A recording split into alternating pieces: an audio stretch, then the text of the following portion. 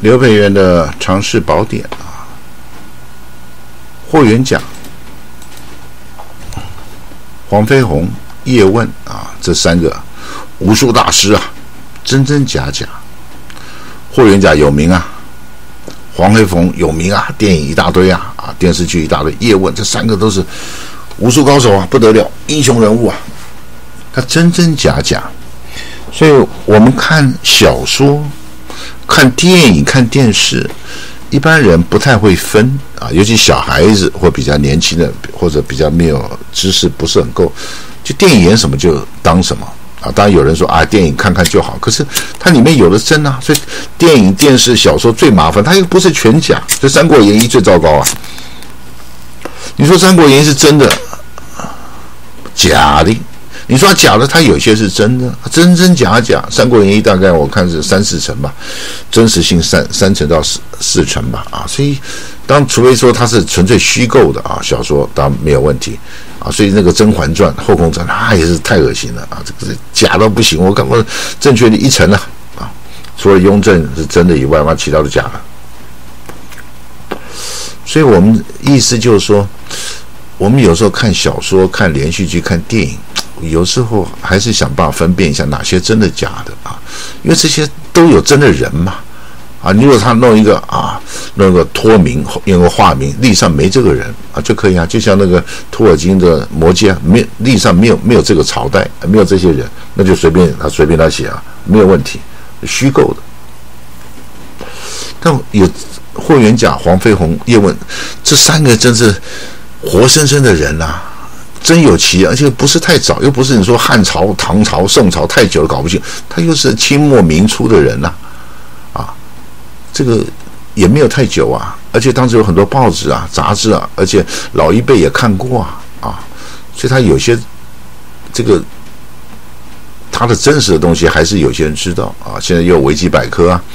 网络上有很多也也也是知道什么是真的啊。可电影他没办法，电影电视他他为了要卖座。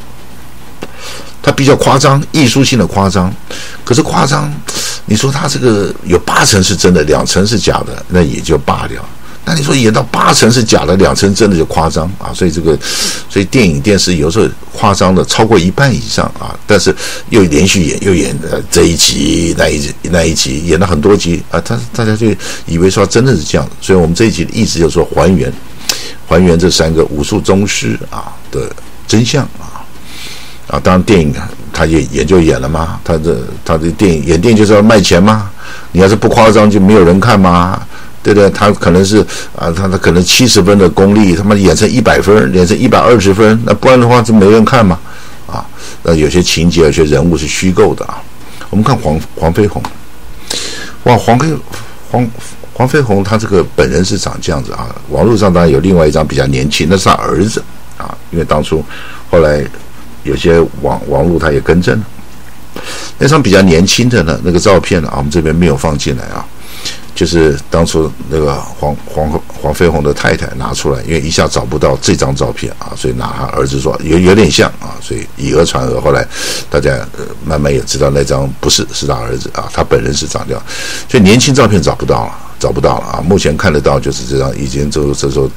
这大概有六六十多岁吧啊。六七十岁吧，黄黄飞鸿，啊，因为他是一九四七年啊，我们这三个按照年纪来排啊，所以年纪最大的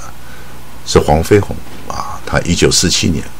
啊，一八四七不是一九四七啊，差太多，一八比孙中山还还老啊，孙中山一八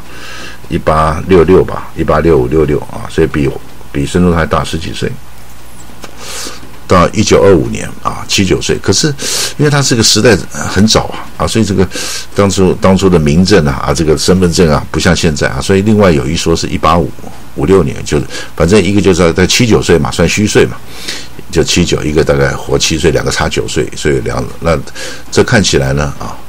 这个大概六六七十岁的时候啊。所以搞不清楚啊，但一般主流是认为一八四七或者七九岁啊，另外一说只活七十岁啊，差九岁。那他父亲真的是黄麒麟，这个没有问题的啊。但是广东石虎是他父亲是广东石虎之一啊。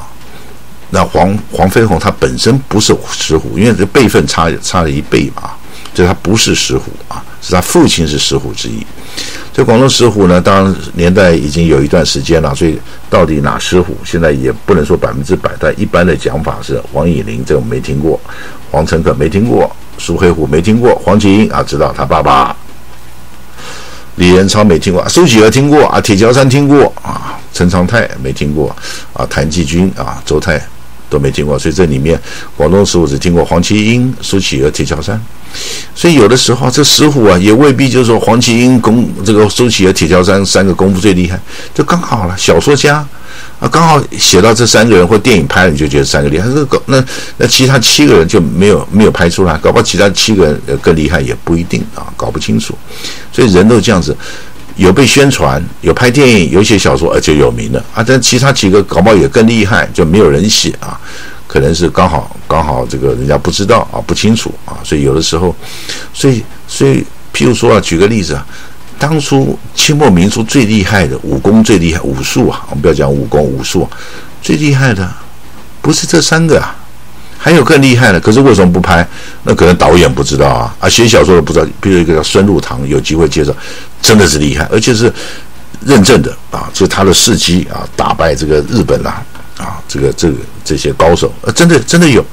啊像这个黄飞鸿啊，霍元甲、叶问，反而这三个人啊，电影上演的嘛天下无敌。可实际上，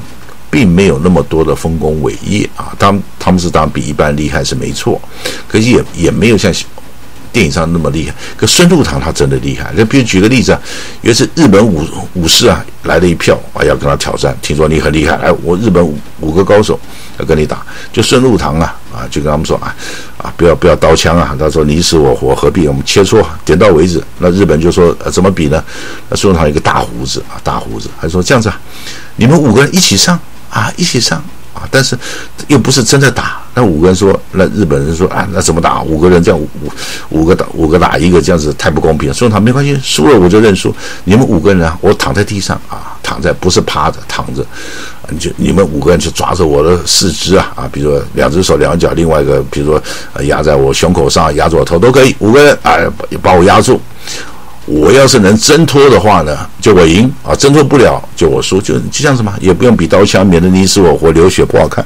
这五个日本五个那个武士啊，就笑了，说：“啊，好来来来，就五个就把压住，就说这这五个人压压住两条腿，两只手，一个压住头。我这那你再厉害，五个人啊，五个力量比一个人大太多了啊，就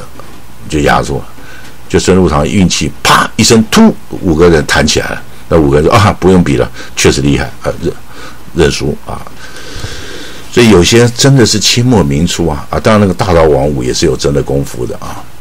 而且大刀王五在当时的他的整个辈分啊，整个武艺啊，可能都超过这三个人啊。那大刀王当然有有拍过一些电影啊，所以当初就是一个叫平啊，所以当初最早的写武侠小说啊，两个人，一个叫还珠楼主，一个叫平江不孝生啊，他主要是平江不孝生。这个写了有关于他们几个人的事情，所以就有名了啊。那黄飞他黄黄飞鸿呢，他五岁就开始跟着父亲习武，这是事实。然后，但是呢，有些地方就是没有那么电影那么夸张啊。跟着父亲呢，黄麒英在佛山、广州卖艺啊。那一般的说法呢，啊，他确实学到这些武功啊。跟他跟父亲呢，黄麒英学虎拳、鹤拳，拜铁桥山也是广东师傅啊。啊，他的传人没有直接跟铁桥山学，跟他传人林福成学铁线拳，又从宋宋徽堂啊学无影脚，但是他没有叫佛山无影脚，就叫无影脚，没有佛山这两个字啊。又从苏乞儿学到醉拳，所以他真的啊学到一些东西啊。这个黄飞鸿啊，就确实会会武术啊。但是我们看有些地方就不一样，就没有十三姨啊，没有十三亿这个东西，这个人呐，没没这个人呐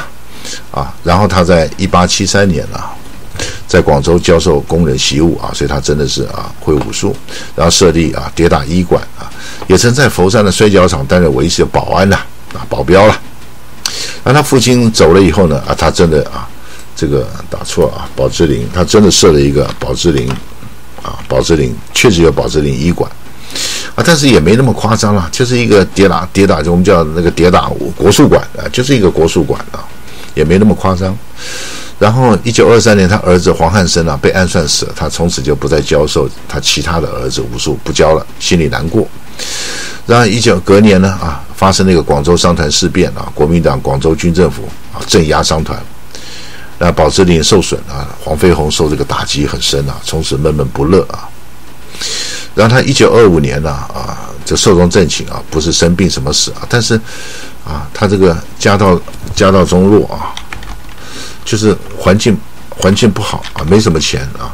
甚至说呢，家人你看。黄飞鸿呢，甚至家人没有钱买棺材，你看怎么会这样？我们在电影上，宝芝林啊，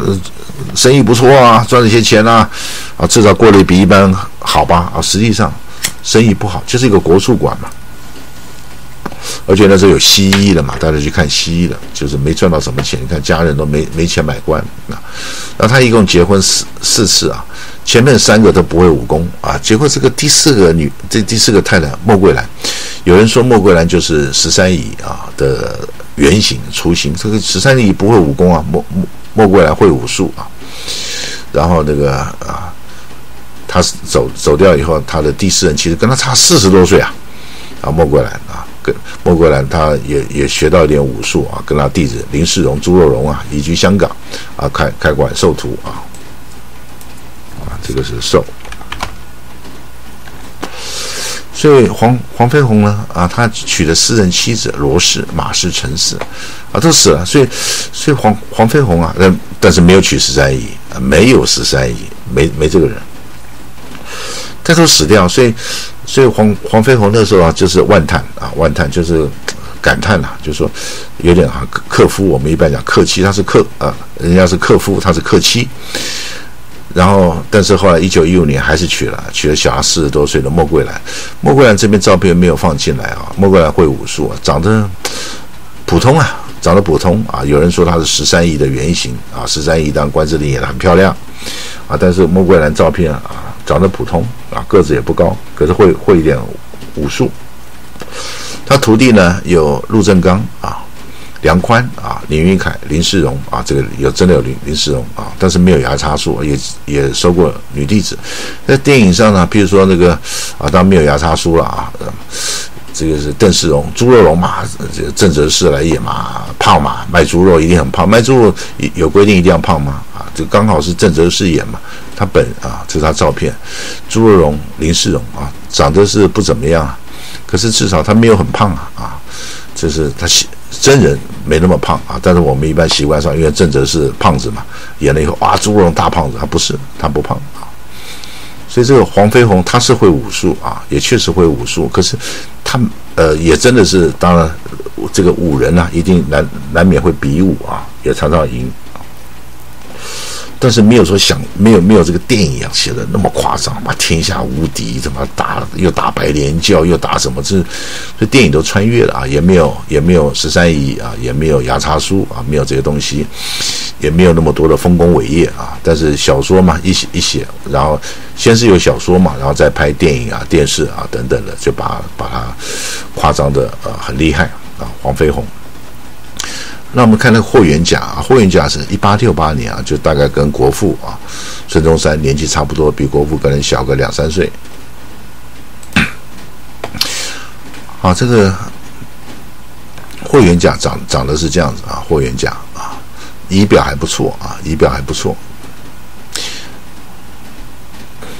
那他父亲霍文帝啊，确实武艺高，可能比他还高。啊，因为他他父亲是当时公认的镖师啊，武艺很高的、很高的高强的镖师，所以这所以小说要是演他写他那个父亲霍文帝，可能说服力更高啊。那我们来看看，那你说那个霍元甲不是更有名吗？应该比他父亲更厉害。那那小说就写写他，没有写他父亲啊。可实际上，应该他父亲的功力比他更高啊。你看，因为霍元甲他其实他。适合练武啊，这一点那个很多小说了、电影里面演的是是对的。他幼年时候体弱多病啊，但常常挑柴啊，那个镖师啊，生意也不稳定啊。尤尤其那个民国开始啊，又开始有这个呃这个镖师可能就比较比较比较少一点啊，就是生意可能变差。他家境也不是太好，你看，不然的话他不需要小时候就挑柴到天津去贩卖啊，表示爸爸赚的钱也不够多。然后呢？你看，二十八岁啊，就是年轻力壮的时候，到天津码头当装卸工人啊。他当工人，你看霍元甲去当工人。我们这边讲的是事实啊啊，主要根据维基百 百科还有掺杂一些其他的，就觉得可信的。结果呢，在老板龙庆生是他大老板啊，所以我们我们电影上看起来，那等于两个是拜把的，平起平坐，不是啊。龙敬孙是他大老板，他只是一个小伙计，两个地位差很多啊。龙敬孙，而且龙敬孙呢有一个好朋友是谁呢？国父。龙敬孙他也是那个同盟会的会员啊，他也是支持革命的啊，啊，他本身有钱，但是呢，他不是开酒楼啊，啊，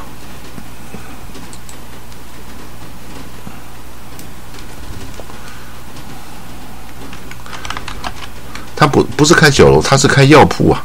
啊，不是酒楼啊，他是那个怀庆药堂啊，他开了啊，然后那个呃这个霍元甲啊，前面当码头工人啊，然后后来啊因缘机会跑到老板农进村有钱人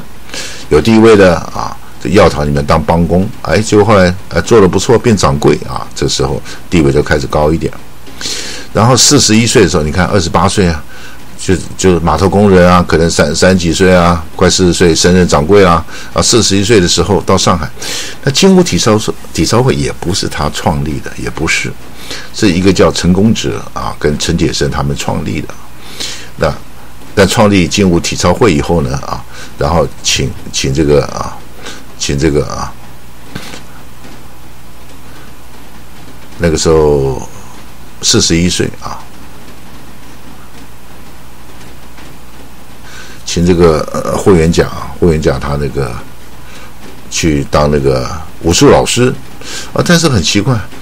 他四十一岁啊去当当这个精武体操会的这个武术老师，可是一年就死掉，因为他一直有病啊，一直有病啊，他并没有啊，这个我们从历史上来看，就事实真相来看，他并没有跟西洋大力士啊比武获胜，没有啊，就是。就是有些好事者就说，因为霍元甲他力气很大，这个很奇怪。他年年轻的时候就身体就不好，小时候身体就不好，可是后来可能长大一点有调养啊，就是啊有压住他的病情，可他力气就很大啊，天生力气就很大，所以呢，就好事者呢啊，就是约了西洋的力士了啊，一些大力士啊，奥皮啊，跟他比武啊，但是呢，没有没有没有比成啊，这个力力士后来绕跑，也不知道。是觉得打不过，还是另外有事啊？因为这个太久了，搞不清楚了，就没有参加，要离开中，没有打成，没有，没有比武，就是有人想安排比武，可是没有打成啊。那有关于电影上常讲霍元甲是被日本毒死啊，他是小说家平江不孝生啊，所以那个时候清末民初两个大小说家，一个平江不孝生，一个还珠楼主。还珠楼主就是写了什么什么蜀蜀侠蜀山奇侠传啊，啊这个人啊用用手手一比啊，妈的剑啊飞来飞去啊，那个啊那个还珠楼主啊。那另外一个叫平江不孝生，这两个是第一代啊，第一代的武侠小说家。那其他的都是后来的，诸诸葛青云啊，一大堆的啊，都是后面的。然后平江不孝生他的两个著作《全术》还有《近代侠义英雄传》里面有写啊，写这个霍元甲被医生日本医生啊秋叶用一个叫做慢性烂肺药毒死。那事实上呢，未必啊，未必，因为霍元甲从小就克血症啊，那他自己。霍元甲有讲，他小的时候想练功啊，但他父亲是希望他不要练啊，因为这个身体不好啊，先把身体调养。但他就偷练啊，练的时候因为方法错误啊，这氧气耗尽，微血管爆开啊，所以他那个咳血也这个脸色常蜡黄，所以有黄面虎啊，就是一看就是就是那个脸色蜡黄啊，就是身体不好。可是可是他这个力气就就是很大啊，这个天生神力，所以当时那个。上海有个申报，也没有提被日本人毒死啊，认为，因为，因为他，因为霍元甲跟日本人有无冤无仇嘛，啊，也无冤无仇。那个电影上演说霍元甲跟跟比武啊，然后日本人啊还押注押宝啊，还认为怎么样怎么样。那在电影上演，因为霍元甲本身他不，他也不是什么大人物，但日本人也犯不着为了一个小人物去毒死他，也犯不着。而且当时《申报》认为他死于心脏病，啊，也没有从来也没有提过，就是当时的报纸啊也没有提到被日本毒死。那可是你说平江不孝生啊写的这个近代侠英雄传说啊被毒死，那说平江不孝你怎么知道呢？平江不孝生早就死了，他也没写说啊这个怎么样是真的啊，我有什么证据也没写啊。所以这个很多小说嘛，所以小说、电影、电视你全部相信就完淡了。啊，这你看，你看《后宫甄嬛传》，觉得这个啊，雍正啊，常常喜欢跟后宫啊，后宫还斗勾心斗角。那个时候不是啊，后宫管管得很严呐。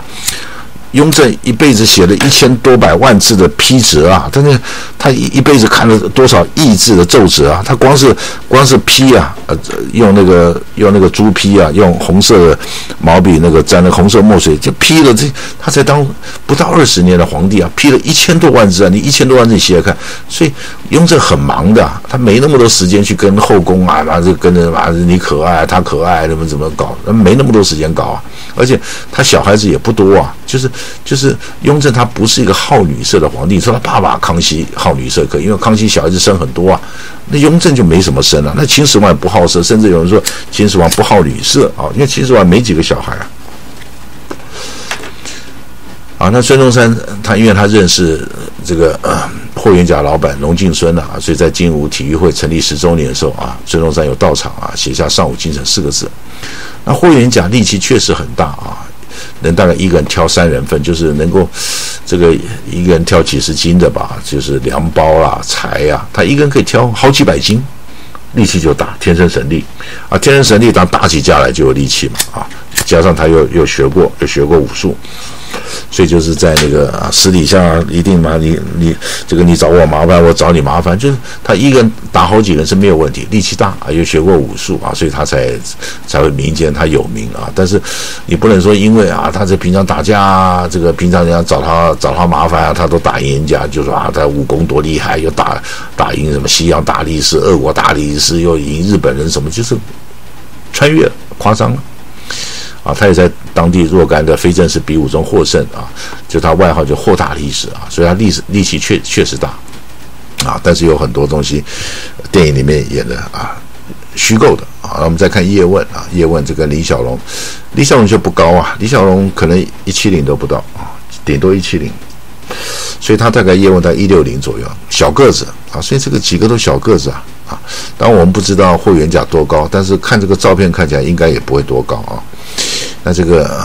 这个黄飞鸿，我们也不知道多高啊。当然，电影李连杰，李连杰矮个啊，也是一六几而已啊。那当然，黄飞鸿这样看起来，因为目前只有一张照片啊，看起来高高于啊，但是看起来也不像是多高大的人啊。所以这几个都不是很高大，尤其是叶问特别矮啊，一六零而已啊。反正他是寸劲嘛，你看又瘦又瘦又小，干干瘪瘪的啊。理想理想就不高嘛？你看，你说哎，李小龙不会啊，看起来不，你去看看他早年演《青蜂侠》那个外国男主角，那男主角可能可能接近一九零吧，至少一八七一八八嘛。那这这是旁边简直他妈矮一个头多啊，而且个子小的不得了在外国人前面个子那么小啊。当然，他后来演香港片了，香港也不高啊，就还好。但李小龙个子也不高，甄子丹也不高啊。所以甄子跟甄子丹演那个关公，那关公这个个子倒，关公一定是大个子嘛。那是你说他他去演，然后那个，然后曹操小个子啊，曹操这历史上就小个子啊，结果又用一个差不多一八零的演员去演啊。你看演曹操小个子，找一个一八零的去演，然后关公是嘛个子很高大，找一个一七零不到的甄子丹去演，真是，哎，胡搞瞎搞。啊，就是演技什么，其他不管呐。而且那个那个关云长那一部里面也是啊，也是乱掰的，所以很多电影没办法看。所以我们这个很多看那个看小说啊，看电视电影啊，没办法看啊。就是你至少有个七分真吧，啊，你说你说他的真实度只有一分两分，他怎么看啊？所以叶问他本名叫叶继问啊，香港身份证名字叫叶毅啊，他有一妻一妾啊。三子二女啊，所以这个很多电影小说里面说他跟陈华顺啊，跟他二师兄吴仲树习武，这是真的啊。他姐姐呢啊，叶雨妹嫁给香港商人啊，后来因为时局不稳啊，叶问被送到香港念读书啊，所以有些有些戏剧里面说到香港读，这也是真的啊，也跟那个师伯梁璧啊，这都真的啊。那毕业以后呢，他就回来跟名门闺秀张永成，所以他太太真的叫张永成，这个是没错的，也叫大家闺秀也没错的。然后呢，这一段这个电影里面就比较没有演了啊。所以一九二六二六年呢，叶问加入国民政府，就国就是蒋介石的政府啊，就是花捐局。花捐局就像妓女院啊，收取花捐税啊。可能电影里面或小说里觉得，哎呀，这个不好看了啊。这个叶问啊，还在这个国民政府的花捐局啊，像妓女啊，这个不好看，不演啊。但但这个历史就是有就是有，没有就是没有啊。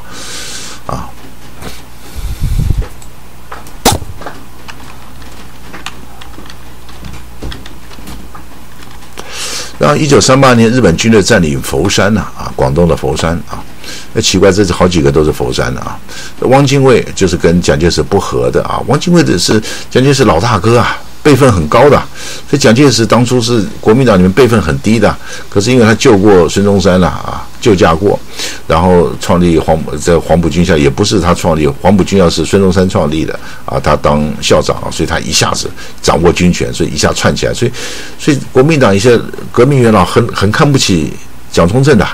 啊，甚至说蒋中正就是军阀。啊，因为蒋介石也是个性是很强悍的，有时候不讲道理的，动不动还把那国民党大佬妈把你软禁起来啊，闹得闹得天怒人怨。后来蒋介石他自己也承认啊，自己个性是太冲，因为蒋介石就杀手起家的嘛，他就杀手嘛，就小混混起家的，啊，蒋介石那个汪精卫政权把叶家，所以叶家家道中落啊嘛，大院啊，所以这个电影里面有演说啊，中日中日战争以后他家啊就被收走，那那也是真的啊，作为公务的官邸。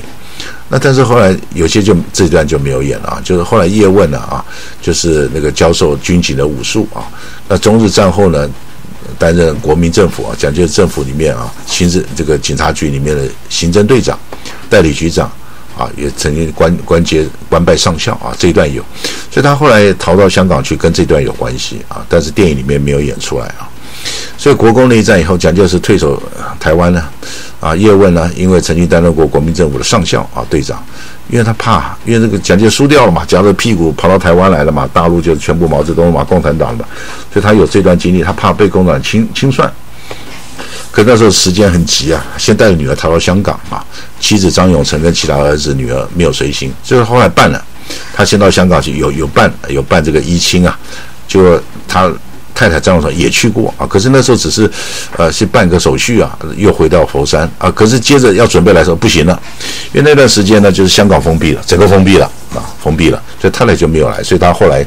就是就是只跟太太太太张永成在香港见过一面。所以后来有些电影也说啊，他太太跟着他到香港啊，那一段就是假的，没有。他太太只去过一次，办个手续，接下来就是没有见面啊，没有见面。然后那他太太后来就死死在佛山啊。所以叶问呢，他香港定居后就交权嘛，啊，李小龙在一九五五年确实加入啊，确实加入啊，比他，但是不是正式的徒弟，因为叶问他有平常教过一些徒弟是事实啊，但是他入室弟子就真正正式承认弟子只有一个，所以他这个很小心的，不随便教，一般只是说啊，我跟你收个钱呐，啊，这个也不算正式弟子啊，李小龙也不算，他正式入室弟子只有一个人，然后一九五四年叶问就。无心交权，OK，开始吸食鸦片，可能太太也不在啊，啊，又想到以前很多事情啊，然后这个各种的这个大起大落啊，以前他他家里以前家境是不错的啊，然后家里又没了，一个人在这边呢，啊，好像有有一个女儿陪着他嘛，啊，就是反正太太小孩主要是都在佛山，就心情不好，就无心交权，这人之常情啊，可以谅解啊，开吸食鸦片，就就是压抑自己啊。然后后来一到一九六二年，你看已经吸了很多年了，吸了八年了，啊，吸了八年，你说你你吸了鸦片，你怎么交嘛？而且不好交了嘛，因为鸦片没钱买的时候就很难过啊，啊，精神就不够嘛。然后两个儿子来港后，他决定啊戒掉鸦片。那一九七二年呢，叶问在他家里面沙发上也算是啊寿终正寝了，安详离世，没有病痛也不错。那过世前一个多月呢，他就拍了一些啊武术示范影片，这是我们现在网络上普遍看的啊。所以这一集就讲这三个人了。这三个人就是我们电影上我们一般的知识啊，一般的形象啊，我们的印象就从电影啊，电影上来的。那霍元甲、黄飞鸿、叶问这三个人确有其人啊，电影上演的真真假假啊，有些真的，有的假的。但是我们这边讲的是都是都是真的啊，啊，都是真的啊。所以你要是有兴趣的话，你可以回放啊。所以像黄飞鸿啊，啊，力气确实很大啊，私底下这个跟人家比武也常常赢，没错啊，啊，不过呢，这个这个没有什么十三姨啊，啊，没有什么雅查叔啊，啊，宝芝林啊，是真的，真的有啊，真的有。然后他的生活过得不好啊，没有赚到什么钱啊，死掉的时候连棺材都没办法买，然后也没有什么十三姨啊，但娶了四个太太啊，第四个太太小他四十几岁啊，莫桂兰，他真的会点武术，后来带着林世荣他们，你看林世荣根本也没有那么胖，不像郑则仕那么胖啊。那霍元甲呢，他他爸爸反而功夫确实高啊，霍元甲，那龙敬孙呢是他大老板，两个没有平起平坐啊。精武体操会不是他开的，他是里面有教拳教武术啊，是别人开的，啊，跟大力士比武没有没这回事，就是有人安排是有人安排，但是没有没有比啊，就是被一些平教平江不孝生他们写的，啊，小说嘛，小说叫小嘛，它不是大说嘛，就小的嘛。小的一个是一方面很小，一方面就是说听听就好啊，看看就好，不用全全信。好，所所以呢，霍元甲也没有说他真的被日本人，因为他的社会地位也没有高到需要日本人呢出面把他毒死啊，因为他从小就科学的毛病啊，面面黄啊，面黄啊，然后看起来也不胖不瘦，还好也没有很瘦啊，就是就是脸色黄黄的，因为有科学啊，啊，他就是力气大啊。那叶问呢是小个子啊，小个子。他咏春当然是啊，咏春当然不是他发明的啊。这个传说也搞不清，说五眉师太那太久了也搞不清楚。但是叶问，但是咏春拳他确实是这个啊，这个学过咏咏春拳啊。啊，所以他有些地方啊，他太太张永成这都真的了，也到香港念书，这些都是真的啊。但是他曾经在这个像妓女院啊，收取花捐税啊，在花捐局上过班啊，这个电影就就没演出来啊。也当过国民党的最最高，当过上校啊，上校的巡逻队长，这个电影也也比较没演啊，也比较没有演。说因为他是这个关系，怕被共产党清算，所以他跑到跑到这个香港去啊，怕被清算。可是呢，他太太张永成，有些电影上啊，张永成跟着他到香港吃苦啊，什么东西没有。张永成没有过去啊，他太太啊就死在佛山，没有跟他去。然后这一段也没有演啊，就他后来心情不好啊，家道中落，开始吸食鸦片啊。这个电影为了保持形象也没有演，一吸吸了至少八年啊这些东西。所以我们就是看东西啊。看看一个真相，我们这边就是讲，就是至少根据比较这我这边看的也不一定百分之百是对的啊，但是相对来讲可信度比较高。